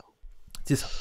Et on arrive du coup promo euh, de Tony Scavoni accompagné qui euh, présente Daniel Bryan, euh, donc voilà, euh, Daniel Bryan qui arrive et euh, du coup, du coup voilà, Bryan Danielson donc arrive sur le ring, intervention de Don Callis rapidement, il a peu le temps de, de dire grand chose et donc du coup derrière qu'est-ce qui se passe Max? Bah donc, Callis arrive et dit qu'ils ont suffisamment entendu Brian, euh, que ça le rend malade, que ce, ce hippie millionnaire le rend malade. Ça me fait marrer. ça me fait rire. Euh, il, est dit, il lui dit ça a dû être très dur d'accepter un gros chèque pour venir dans cet endroit construit par Omega. Euh, Ouais. Donc il taunte un peu sur le côté euh, t'es t'es venu pour l'argent. Euh, il lui dit donc que Brian il se croit le meilleur, il se croit capable de, de gérer euh, les matchs pour le titre. Mhm. Que, ça, que c'est à lui de décider s'il aura un match contre le titre, pour le titre pour Omega. Et euh, donc Brian lui dit de se taire et qu'il est là pour parler à Omega, pas à Callis. Il lui dit donc il dit à Omega, donc il se retrouve face à face, il dit à Omega que euh, un jour ça sera pour le titre. Mais que là Mhm. c'est juste pour savoir qui est le meilleur. Tout Mhm. simplement. Mais apparemment il s'est trompé, il voit qu'un mec qui, qui se balade avec des idiots et qui laisse parler l'autre merde. C'est gratuit, mais C'est gratuit, bien. mais hein. bon, euh, Callis Il- c'est une grosse merde, donc euh, il, il a pas tort, il a pas tort. Voilà. Et donc il dit, il pense que qu'Omega a perdu ses couilles. Donc, euh, Ouais. donc Omega commence à s'énerver. Et donc euh, il a pas trop aimé de, de se Ouais. faire comme ça. Et donc Omega lui dit que Brian veut le meilleur du dieu du catch, alors c'est oui. Hmm. Il accepte le challenge. Et donc Brian contre Omega la semaine prochaine à Dynamite Grand Slam au Grand Slam euh, machin là. Euh, donc bah, incroyable, très cool. Hein, voilà. c'est ça, j'ai marqué putain déjà. Bah oui, mais bien et puis pas pour le titre, c'est intelligent, voilà, Ah oui. comme ça, il y a, euh, comme ça les mecs ils disent Eh, Brian il est arrivé, il a eu un match pour le titre. Mais non, Pourquoi tu prends la bête, papy? Je, je sais pas, je, vois- je les vois bien parler comme ça. Non mais ouais, mais euh, le truc c'est ça, c'est que moi je trouve ça hyper intelligent. On aura un très bon match. C'est Ah oui. c'est pas évident de savoir qui peut gagner ce, ce combat. Euh, la fin risque pas d'être clean, je pense. C'est ça, euh, avec Elite c'est compliqué d'être Ouais. clean. Est-ce que le match va vraiment se finir déjà? Ouais. Il y a plein de possibilités. Ils peuvent, ils Je peuvent en faire gagner un pour dire bon, on verra bien plus tard. C'était vraiment un match comme ça. Le faire gagner pas clean par exemple Omega. Euh, tu peux faire gagner Brian pour dire bon bah là cette fois-ci il mérite peut-être un match pour le titre à Full Gear. Euh, tu peux ne pas faire finir le match pour dire il faudra une revanche à un moment donné.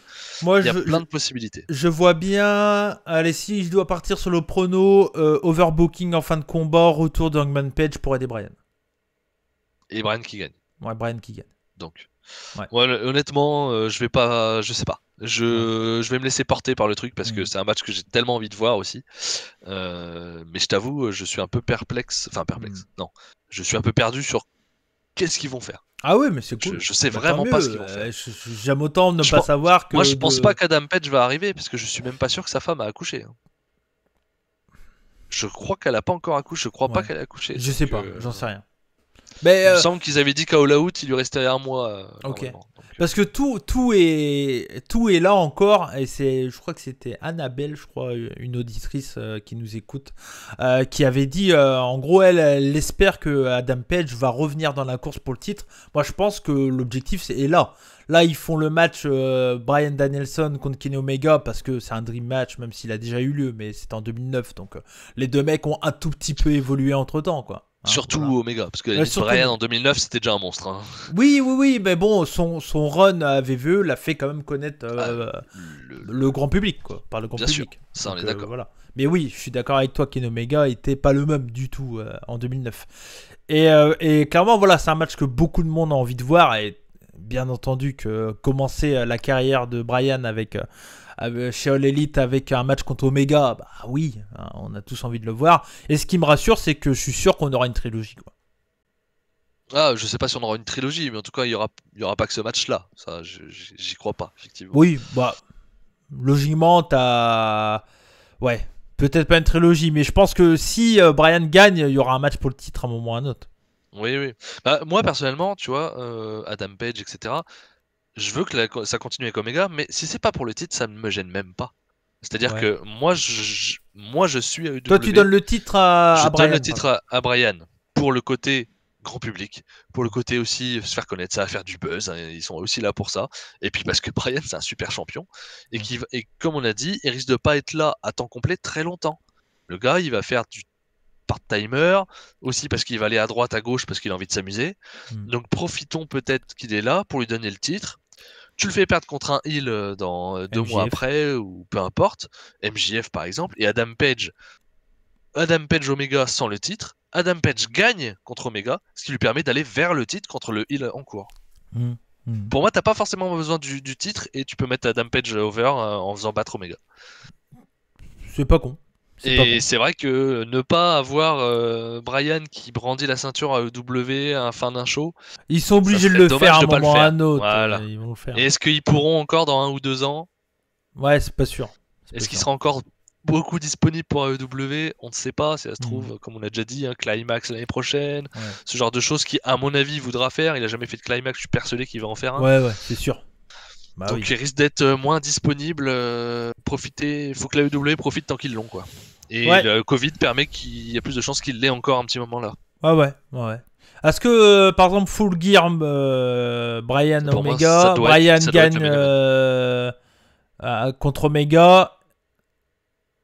Hmm. Et derrière, Donc, et derrière coup, Omega vers Page, quoi. Ouais, voilà. Page Mm. revient euh, derrière Full Gear et euh, on continue la rivalité. Comme ça, ça, fait- ça sort Omega de la, du title shot.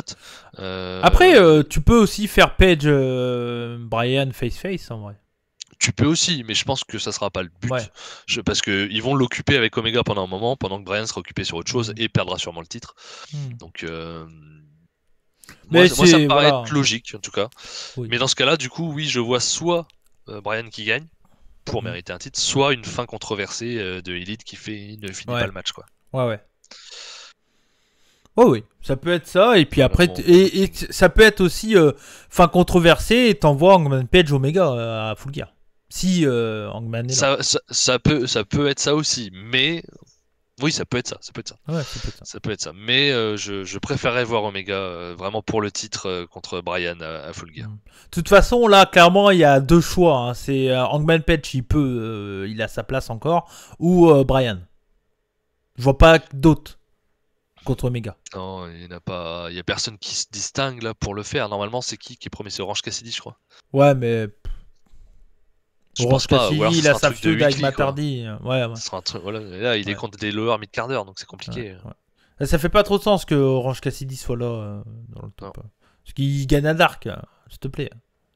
C'est ça. Donc, Il bon. va peut-être falloir le faire perdre un match euh, en, Ouais. en ouais, ouais. dynamite pour le faire Promo baisser. de Miro qui répond et accepte le défi de Fuego del Sol. Donc on y reviendra après. Main Event, Eddie Kingston et Moxley contre 2.0. Voilà. Euh, ça a été annoncé. Derrière, ils annoncent les matchs de Rampage. Bon, ça on va passer. Et la semaine prochaine, on y reviendra après tous les matchs annoncés. Euh, et ça sera deux shows de 2 heures la semaine prochaine. Euh, Dynamite normal de 2 heures et Rampage exceptionnel de 2 heures parce que c'est le euh, Dynamite et Rampage Grand Slam. Voilà, tout, tout filmé le jeudi, en fait, le, Ouais. le- le show est un show de 4 heures pour les gens sur place. Ouais. Une sorte de, sorte de pay-per-view quand on voit la carte, quoi. c'est ça, totalement. Donc, La seule euh, différence pour nous, c'est que c'est en dynamite, donc il y aura des pubs. Et ça, Ouais. c'est dommage. Bah, à moins de le choper version fit. Quoi. Ouais. Donc on, on verra ça.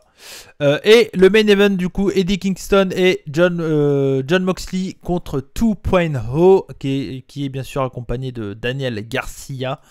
Et ah, le fait d'avoir Daniel Garcia et enfin, ils sont pas vraiment dans la même storyline, mais d'avoir un possible Daniel Garcia, Minoru Suzuki, mon rêve de, rejo- de voir rejoindre Daniel Garcia, le Suzuki Gun. euh, Moi, j'aimerais bien. Quoi. Pourquoi pas, oui, effectivement. Ima- Imagine, il y a une intervention de Tupano et Daniel Garcia à la fin et euh, Minoru Lancercher gagne le, le tag match. C'est aussi possible. tu vois. Mm. Donc, Bien bon. sûr. Euh, bon, le match, euh, c'est efficace. J'ai pas grand chose à dire. euh, C'est très classique. euh, euh, Il y a au début un avantage des faces. Tupano prend l'avantage en, en s'attaquant à deux sur. euh, sur je, sais plus sur qui d'ailleurs. Je dirais sur Eddie Kingston, je crois. Je m'en rappelle plus. Je t'avoue, sais le plus. match m'a pas transporté. hein. Ouais. C'était classique. hein. Voilà. Ouais, Ah, c'était c'est ça. c'était faible. Pour, pour- Ouais, ouais. pour un main event, c'est quand même hyper faible par contre. C'est là parce qu'il y a Suzuki derrière, mais. Oui, mais tu sais, le but c'est de faire du catch basique, euh, de, de, mettre, de raconter une En histoire pour le. En main event, euh, tu, tu dois mettre un peu plus quand même. Je pense que la carte là, elle est mal branlée, euh, personnellement. Oh non, non, non. Pour moi, ce match-là, il n'a rien à faire en main event. Il est trop faible. C'est le Bah- main event quand même. Dans ce cas-là, tu mettais Adam Cole et, et Kazarian. Je, je préfère totalement avoir vu ça que voir ce qu'on a eu la semaine dernière. hein. Ah oui, non, mais les deux cas, dans les deux cas, les main event étaient pas bons. Bah, pour moi, là, ça avait plus sa place dans le sens que c'était un match court. Ouais, mais Euh, le main event, ça, ça ne doit pas être euh, Moxley et Dickinson contre 2.0. Oui, mais le vrai, main- le vrai main event, c'est pas le match. Le vrai main event, c'est l'intervention de Minoru et Lance Archer à la fin. derrière, ouais, je suis d'accord avec toi. Mais bah, moi, euh, non. Enfin, moi, j'aurais mis Adam Cole, euh, Oui, Adam Cole Kazarian quand même. ouais, mais bon, moi j'aime autant qu'il commence avec ça. Ça fait un début de show rapide et tout ça. Parce que là, tu le pouvais truc- mettre Sean Spears, Darby Allin en opener, par exemple. Oui, tu pouvais aussi, mais voilà, l'histoire c'était de te donner envie de regarder la semaine prochaine, encore plus. Ils ont tout fait pour que la semaine prochaine ils fassent des ratings de, de bâtards. Et là, à la Oui, fin, euh, à la fin du Oui, combat, mais, t'as Minoru. Ouais, mais tu mets Adam Cole et, et comment et, et Kazarian, t'as à la fin l'annonce de Adam Cole et les Bucks contre. euh, ça donne Ouais. aussi envie, tu vois. Le 3 contre 3, je pense qu'il donne plus envie pour la plupart des fans AEW que le Suzuki euh, Archer contre euh, Moxley, hein, je pense. hein. Oui, oui, oui. Et Kingston. N'oublie pas, Oui. euh, légende hein, quand même. Non, non. Non, mais voilà, bon. Mais moi j'ai mis 3,25 à ce combat, ça a fait le taf que ça devait être. Voilà, je pas. J'ai même pas mis 3. Ouais, ok. Bon, moi j'ai, moi, j'ai bien aimé. La fin, c'est victoire de, de Kingston et Moxley avec la, l'Ariat Dragon Suplex. Et après, intervention de Minoru Suzuki et Helen Sarcher. Euh, et là, et voilà, le match était court pour avoir le temps d'avoir le Caselinare. Hein. C'est ça, là on a eu la musique. Et les gens qui chantent à la fin. Ils ont compris. Bah, je pense qu'ils savaient que c'était une connerie, tu vois. Mais euh, ouais, bon.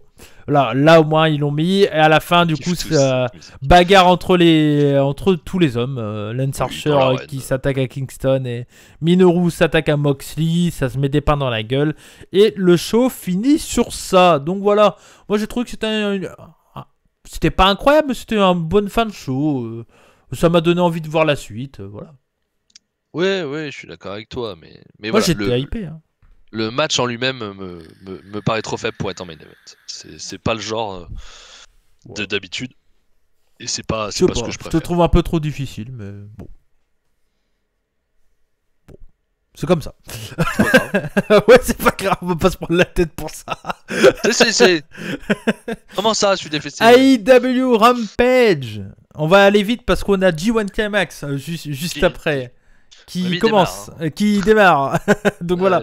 Euh, euh, Euh, AEW Rampage, le show a commencé avec le match pour les titres par équipe Lucha Brothers contre le Butcher and the Blade. Euh, match efficace, clairement assez euh, RAS mais efficace. avec des Butcher, avec le Butcher et, et the Blade qui étaient rouges, ils ont fait trop de, de soleil. hein. Là, ça allait pas. Euh, ils sont, ils sont tapés la viande avant. Ah ouais, ouais, euh, ouais, c'est les mecs, ils rentrer, même. C'est ils même pas le soleil là. Rouge et écarlate, les deux. hein. Ils sont, elle fait, allez, vas-y. c'est clair. Mais bon, voilà, comme tous les matchs de Lucha Bro, c'est cool. hein. C'est un très très Oh bon oui. match par équipe. Euh, c'est efficace. Euh, Butcher and the Blade est- sont vraiment efficaces dans ce rôle-là de brut. euh, tout ça, ça marche bien. C'est c'est des bons catcheurs. Euh, voilà, c'est. Moi, j'ai trouvé ça hyper efficace. Euh, à, un moment, il y a donc euh, après plusieurs dominations de, de Lucha Brothers euh, avec des prises de Hatfly, etc., etc. À un moment, Butcher and the Blade en fin de combat arrive à prendre l'avantage et attache Pentagon avec aux cordes avec son masque, avec la ficelle de son masque, il attache tout ça. Et donc là, ils ont l'avantage sur Ray Phoenix. Et euh, ils vont pour faire leur finish sur Phoenix. Et là, euh, Pentagon se démasque lui-même. Et ça, j'ai adoré ce, ce spot-là. Euh, il se démasque et du coup cache son visage et porte quand même un super kick.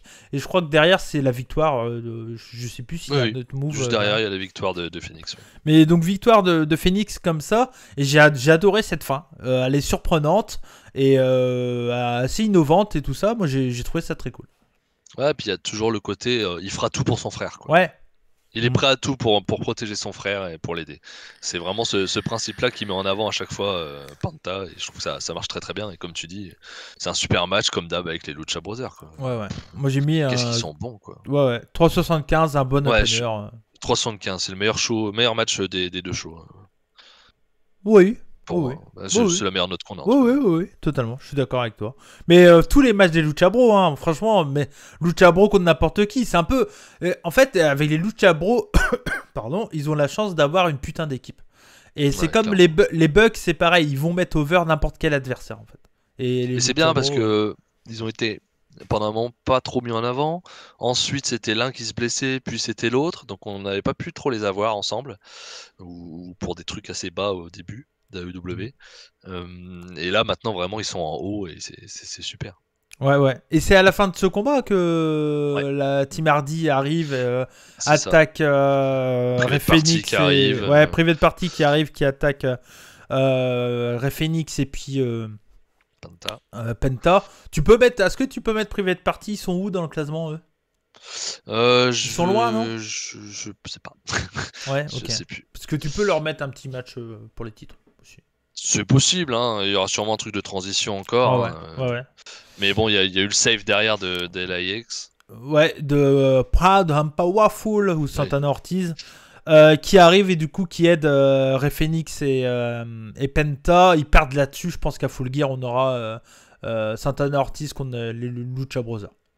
Oui, il y a des chances, il y a des chances que ça parte là-dessus, même si c'est plutôt face-face. Ouais, mais c'est bien. Euh, c'est bien. match puis, compétitif. voilà, c'est ça. euh, Pas les deux de équipes sont très bonnes, donc euh, ça sera très bien. Ouais. Mais euh, surtout, ils a... ça, ça, ça nous dit surtout autre chose qu'on un petit euh, 4 contre 4. Ouais, que ça sera la, la semaine prochaine. Mais euh, voilà, et puis euh, c'est, euh, je crois que c'est Thomas Boutier qui l'a dit dans les commentaires la semaine dernière. La dernière rencontre qu'il y a eu entre Santana Ortiz et les Lucha Brothers, c'est Santana Ortiz qui, qui ont gagné. Ok. Parce que les Lucha Brothers euh, ont droppé les titres pour Santana Ortiz, parce que les Lucha Brothers allaient vers l'élite en, avant mai 2019. Donc, euh, donc voilà, donc ils peuvent jouer là-dessus aussi. Le fait que les, euh, Pent- les Santana Ortiz a déjà a dit, vont dire ah on vous a battu pour le titre Impact, surtout qu'ils peuvent le dire, tu vois, ils peuvent faire des rappels par rapport à ça. Oui, c'est facile, c'est hyper facile à construire. Ouais. Et donc pas de private party dans le ranking. Ils Ok. sont, pas, sont pas dans les D'accord. 5. D'accord. Donc oh, non, il y aura peut-être pas ça, mais c'était surtout là pour teaser le match de la semaine Putain. prochaine. Panta et Refinix, ils ont eu beaucoup de matchs. Hein. 51-22, ils ont en overall. Bah, ils ont catché beaucoup à Dark. Ouais, des chances. surtout, surtout au début. Ouais, à Dark Elevation. 51-22, la vache. Ouais. Bah oui, bah ils sont utilisés quand même. Ah, Ah, bah là, on peut pas dire. Mine hein. de rien. Les mauvaises langues 60 vont dire, mais ils sont pas 73 utilisés, c'est faux. 73 matchs en deux ans. Ouais, ouais, ouais. Ils étaient peut-être pas utilisés à, à Dynamite, mais bon, voilà. Euh, c'est c'est plus le cas en tout cas. Euh, à nouveau, promo Brian Omega, on rappelle que ça sera la semaine prochaine. Anna Jay contre Bunny. Voilà. Euh, Qu'est-ce que t'as pensé du combat, Max? Balek. Ouais, Euh, assez balèque. Assez Balek, c'est le match, euh, le match du milieu de Rampage. hein. On a- l'habitude, c'est toujours assez court euh, Mm. et, et peu intéressant. Il a quand même duré 7 minutes le match. Ouais. Euh, J'aurais dit même plus court, tu vois. Bah, ça a été cuté vachement aussi. hein. Ouais, ça a été Mm. cuté. Euh, le match d'ailleurs de, de, de- des Lucha Bros, euh, Ouais. ça n'a duré que 10 minutes. Ouais, mais c'était intense. C'était intense, mais court. Int- intense. C'était- intense. T'as pris l'accent du sud, hein, qu'est-ce qui t'arrive Après, Ok. euh, Anna Jay, Bunny, je dis pas que c'était moyen, mais. C'était pas moyen. Hein, Mais ouais, c'était assez basique. euh, voilà. oui, non, il y a, y a pas pas grand chose à vraiment en dire. euh. C'est pas deux très bonnes catcheuses. Jay est pas mauvaise, mais c'est pas fou non plus. Bah, c'était pour donner une victoire à Nadje, quoi. Voilà. Oui. Derrière, derrière, il y a eu le beatdown de, de Ali euh, avec Penelope Ford, euh, Ford qui ont frappé Ty Conti et, et Jay. Il y aura sûrement un match par équipe entre les quatre filles. Bah, euh, sûrement, oui. Ça fait, ça, ça se tourne autour depuis un moment. Là, on sait qu'il va y avoir un autre match. Ça sera Anna Jay contre Penelope Ford. Ouais. Euh, mais oui, un 2 contre 2, ça arrivera aussi. Après, est-ce que j'ai envie de le voir Ça, c'est autre chose. Ouais, ouais. Euh, Il y a une promo de Matardi qui s'attaque à un fan qui est habillé comme Orange Cassidy. Voilà. Enfin, un fan. Fan worké, hein, bien entendu. Parce Oui. qu'il le, ra- il le ramène dans le ring et il le casse la gueule et il prend une paire de ciseaux, il lui coupe sa belle mèche de cheveux que le fan avait. Et, euh, et derrière, il y a Orange Cassidy qui vient pour faire le save. Et donc, on va partir sûrement vers un. euh, cheveux contre cheveux Cheveux contre carrière, Peu- Je ça va être l'un des deux. Ouais. Soit. R versus R, soit R versus euh, carrière. Ouais. Pour Matardi. Voir. Est-ce qu'ils vont traîner ça jusqu'à Full Gear? Je pense, oui. Ouais, ok. Je pense. Oui, C'est un petit Mhm. match euh, qui fera souffler. Ouais. C'est possible. Et surtout, donc, pendant ce match-là, ils ont annoncé le, le 4 contre 4 pour la semaine prochaine. Ouais. Promo de Britt Baker. Max. Ouais, Britt Baker euh, bah, dit que. Donc il y a Britt Baker et Rubiso qui, qui arrivent directement. hein. Et Baker dit que So se cherche. euh, elle change de nom, de tatouage. euh, elle se cherche un De endroit. couleur de cheveux. Couleur de cheveux, oui, pardon. Ouais, ouais. Euh, alors que elle, elle- tout le monde la connaît ici, elle est euh, DMD, la foule le, le dit d'ailleurs. Mm. Euh, et So dit que bah, c'est normal, elle fait que le répéter chaque semaine, donc à un moment donné, les gens ils le savent. hein. Putain, c'est- bien. Ça, À un moment, tu nous casses les le couilles. hein. euh, clair. ça, ça rentre. Hein. Allez, moi Mais- je suis, je suis à fond derrière euh, Rubisso. hein. Moi ça y est, moi, moi- ça déjà sa musique Destination, waouh On a pas arrêté de la chanter, putain, on a regardé Rampage ensemble. Juste avant. Ah ouais. donc, euh, non, mais So dit, dit surtout qu'elle connaît Baker comme une égoïste qui couche avec un mec en coulisses. Qu'elle euh, elle voit rien d'autre euh, pour elle. Qui c'est Ah, je sais qui pas. Bébé Je crois que c'était abonné. Je comprends plus.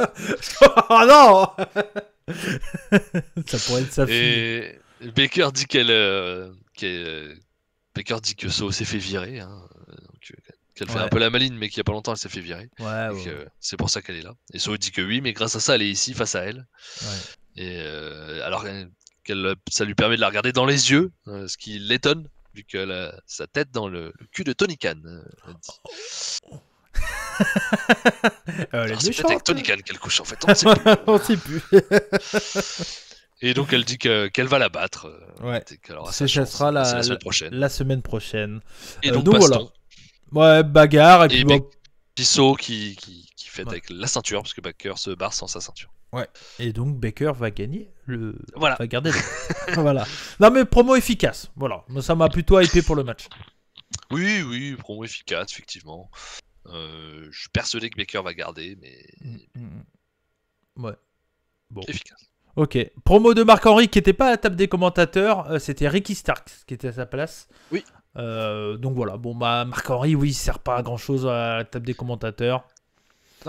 Euh, qui reste en backstage et qui fasse euh, le pré-main event, enfin annoncer l'interview d'avant main event de Rampage. En vrai, je pense que c'est plus sa place. Donc, Euh, juste, euh, ouais. Non, je vais dire juste une petite interview Oui, oui. Sol qui dit qu'il est prêt à tout risquer pour le titre et, et Mero dit qu'il accepte malgré qu'il a rien pour lui, Fuego, mais qu'il aime célébrer avec sa femme ses victoires. Ouais, voilà. Et Dieu. Et Dieu, toujours Dieu. Miro contre Fuego del Sol, main event de Rampage pour le TNT Champion. Euh, c'est ce qu'on pensait, euh, Max. Hein. euh, voilà, c'était Oui, pas oui. un, squ- c'était pas trop un squash. euh, Non, ils ont eu du temps, hein, il y a eu 9 Ouais. minutes. 9 minutes. Euh, Il y a eu des belles dominations de, de Fuego del Sol qui botche un peu, qui est un peu cafouille Ouais, de temps en temps, etc. Un peu léger quand même. Mais pour le coup, voilà, ça fait le taf. Ils ont essayé de faire croire que Fuego pouvait battre euh, Miro. J'y ai jamais cru quand même. Mais ça n'empêche que c'était un match euh, plutôt solide avec une victoire logique de, Miro. Et c'est surtout la suite en fait qui est le plus intéressant. Oui, c'est ça, c'était clairement fait pour la suite et c'est ce qu'on on a discuté pendant le Rampage, euh, que c'était sûrement pour ça qu'il y avait ce match-là, parce que le match en lui-même, je le comprenais pas. Le mec, il a déjà perdu, il s'est fait plutôt squash. Il a euh, 1,37 euh, ou 1,50, je sais plus. Donc je vois pas à quel moment il mérite un match, quoi. Donc Ouais. euh, bon, euh, tu fais bon, c'est un peu. Tu vois pas pourquoi il y a ce match-là. Euh, et puis l'autre, il, il met sa caisse en jeu alors qu'il sait très bien qu'il va paumer. Ouais, quoi. et je, je l'ai pas dit, mais parce que. Et, et maintenant, Miro, il est new détendeur de la voiture de, de Fuego del Sol. Ouais, mais il a perdu les clés dans la bouche de Fuego del Ouais. Sol. Du coup, il pourra pas le.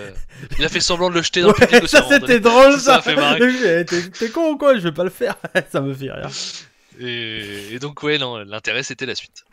Et la suite, c'est euh, du coup bah, beatdown de, de Miro sur Fuego del Sol, qui s'attaque à Fuego, etc., etc. Et bien sûr, son meilleur ami à Fuego del Sol arrive, c'est Sami Guevara. Et donc euh, Guevara, bah, il- derrière, il prend le micro ou je sais plus. le Euh, micro. non, non, du tout.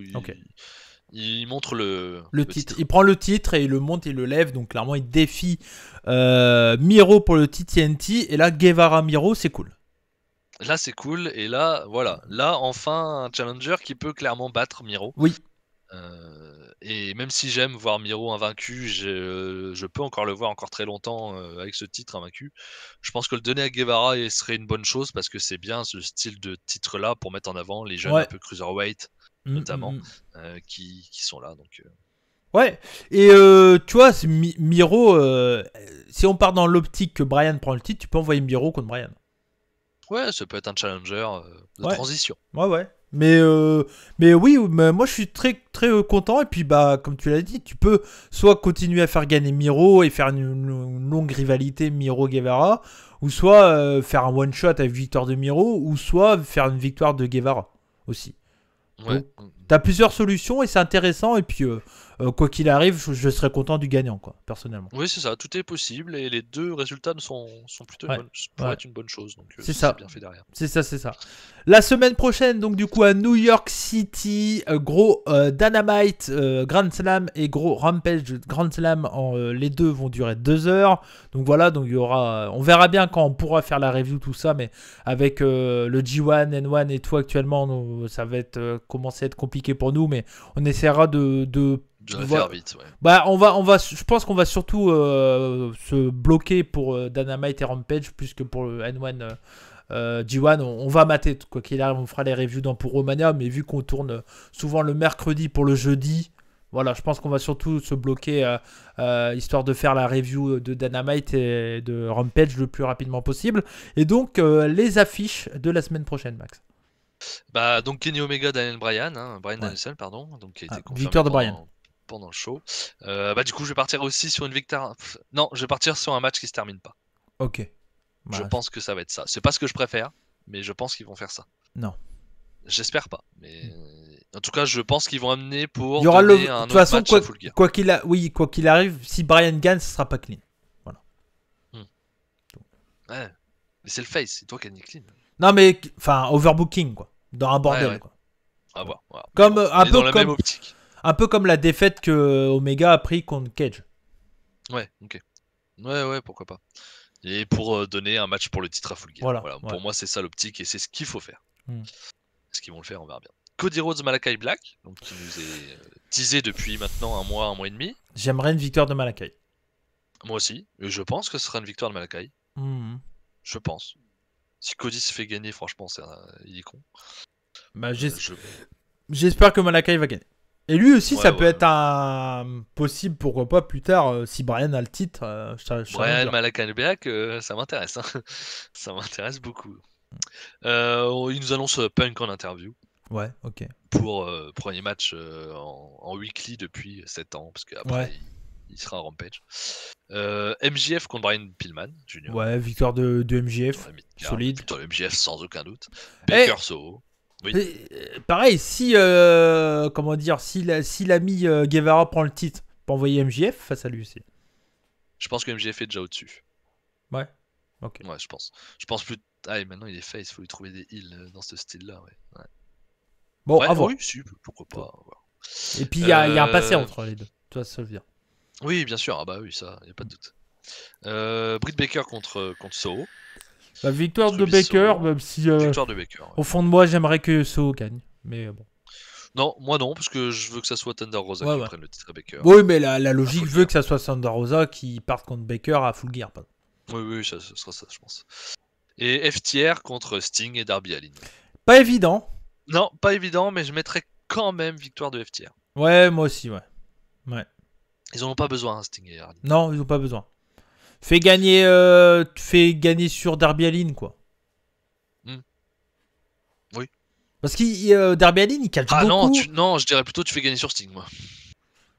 Sting a absolument pas besoin. hein, Oui. Il s'en fout de- d'être Ouais, et puis ça ferait un Darby Allin peu- euh, a, ça f- a perdu contre Punk. Oui, euh, c'est vrai.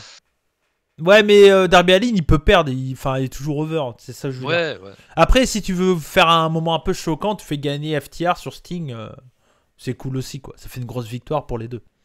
Ouais, ouais, je pense. Je Mais en tout cas, grosse carte. Hein, de la- pour Ouais, gros- grosse carte. hein. Ça fait euh, donc 2, 3, 4, 5 matchs. euh, donc on, on est sûrement plein. Et peut-être une arrivée. plein. Et peut-être une arrivée. Peut-être, peut-être. Ou alors euh, Bray Wyatt, il y aurait la rumeur, ça serait, je crois que c'est le prochain show, c'est à Long Island, je crois, et je crois que c'est euh, ou c'est, je sais plus quel show. Il y a un show qui arrive dans la ville de naissance de Brody Lee. Et euh, les rumeurs voudraient que Bray Wyatt arrive pour euh, le show euh, qui est sur la, la ville d'origine de, de Brody. Ça sera un, un très beau clin d'œil. Voilà. Après, voilà, moi, comme j'ai dit à Cody en off, je sais pas si j'ai envie. Voilà. Il y a eu beaucoup d'arrivées, de, de catcheurs talentueux sur le ring. Ouais, mais c'est autre chose. Là, tu proposes autre C'est autre chose. Je sais pas. Voilà. Mm. Ouais, je, je verrai bien. Si ça arrive, je verrai bien ce qu'ils en font. Et si ça me plaît, je me. Hmm. Mais voilà, c'est pas, je suis pas comme avec euh, Adam Cole ou Brian où je voulais absolument qu'ils arrivent. Quoi. Ouais. Euh, Rampage donc sur deux heures. Donc euh, pendant le Dynam- Dynamite, on nous a annoncé donc Adam Cole et les Bucks contre Christian et Jurassic Express, qui sera Ouais. sûrement le main event, je pense. Ouais. Ça peut être opener. Hein. Ça peut être opener. Ouais. Moi, je mets, moi, je mets CM Punk Williams hein, en main event. Ah ouais? Ah non. Ouais. Euh, pour moi, il sera en milieu de carte. Non. Euh, et d'ailleurs, match d'avant, euh, show d'avant, euh, on est d'accord, Dynamite, Kenny Omega, euh, Brian Nelson en, en, en Oui. event. Et, o- et Ah. opener. Opener. euh, Ouais, tu peux. Tu je peux. pense. Hein. Ouais, ouais, tu peux. Totalement. Ou FTR, Sting et Darby Allin. Tu peux aussi. Ouais, ouais. Tu peux tout faire. Ouais, c'est ça qui est bien. à part que Omega Brian, tu le mets en, en- Oui. en main event. Ouais. Bah, oui, logiquement. oui, oui. non, mais là, là je, je- je- ça, n'aurait pas de sens. Qui... Mm. Oh, milieu de carte. Ouais. ouais. Euh, Qu'est-ce qu'il nous reste d'autre? Donc, euh, bah, Adam Cole, on l'a dit. Euh, Hobbs, Punk, tu t'en as parlé. Ouais. Bah, victoire de Punk. Punk, je pense. Mm. Scorpio Sky, Ethan Page contre Jericho et Jack Hager. Ouais, milieu de carte, euh, victoire de. Scorpio Sky et. Non. Ethan Oui, Page oui, oui, oui, oui, Scorpio Sky et Ten Page, ouais. Ouais, ouais. Je pense aussi. Sur. Rampage. Oui, pour euh, Hager, invaincu, machin. Mm, mm, euh. mm. Et peut-être ramener un peu euh, des, des gars du MMA dans les prochains matchs, peut-être. Je Peut-être. sais pas s'ils ont prévu ça. ou Il y aura pas, peut-être de l'overbooking là-dedans. Oui, oui, des chances. Et ils nous ont rajouté aussi donc à Rampage trois autres matchs. Donc Eddie Kingston et John Moxley contre Minoru Suzuki et Lance Archer. Victoire de Suzuki Gun. Sur Kingston. Euh, S'ils veulent amener un truc à full gear, ouais. Bah, Sinon, victoire de Kingston Moxley, ça s'arrête là. Ouais. Je sais pas. C'est peut-être une demande de New Japan pour euh, pour la Tag League pour que euh, Archer et Suzuki fassent euh, équipe en Tag League pour euh, qu'ils soient un peu over. Est-ce qu'il sera au Japon Bon, ils peuvent l'envoyer. hein. Je sais pas si Suzuki. Il a pas, il a pas. bah, Il a pas de booking après? Là, il, là, il a sa, sa tournée aux États-Unis. Là, ça finit. euh, C'est quand euh, la Tag League euh, New Japan? Mi-novembre. Ah, il sera. Je pense qu'il, je crois qu'il sera de retour. revenu. Ouais, ouais. Ah, peut-être. peut-être, Je sais pas. Ce serait bien pas. de la revoir en équipe avec Hmm. Lance Archer. Moi, ça me va. hein. Ça me va. Euh, Lucha Bro et Santana Ortiz contre Private Party, Butcher and the Blade. Oh, victoire des Victoire Face. des, des Face. Et Anna Jay contre Penelope Ford. Victoire de Nadje. Victoire d'Anna Jay. Ouais. Donc voilà, mais gros- euh, grosse carte cartes, aussi. euh. hein. Ouais, ouais, ouais. Et euh, clairement, là, ça risque d'être euh, violent. Et sur place, c'est un pay-per-view quoi. Ouais, ouais. C'est la qualité des matchs d'un pay-per-view. Et euh, plus, plus grosse crowd pour euh, des weekly euh, chez All Elite. Oui, clairement, et c'est leur plus grosse salle de toute leur Ouais. histoire pour Ouais, le ouais. moment. hein. C'est un espèce de stade, hein. C'est un, c'est un stade. Ah, c'est pas l'US Open? Je crois que c'est ça, mais j'ai peur de dire une connerie. Il me semble que c'est à l'US Open, dans le Ouais. sta- un stade de tennis. Donc, euh, Ouais. Je, je sais plus combien de cette personnes, mais. euh, euh, je crois que c'est 20 000. Ouais, ok. Mais en tout cas, voilà, bah, c'est génial et on va profiter la semaine prochaine. En tout cas, merci à toi, Max. Ouais, merci. Cody. Et puis, euh, on se retrouve très bientôt sur la chaîne pour, euh, pour Romania. N'hésitez pas, si vous voulez suivre, savoir qu'est-ce qui se passe euh, du côté du G1 Climax et N1 Victory, bah, c'est dans l'émission hebdomadaire sur le Puro Rassou euh, pour Romania. Donc surtout, n'hésitez pas, n'hésitez pas bien entendu à nous suivre partout sur les réseaux sociaux, etc. etc. On vous fait des bisous, c'était les rebuts du catch, à savoir Cody et Max, comme on dit chez nous, Banzai. Et surtout, n'oubliez pas, Soyez curieux. Ciao Ciao.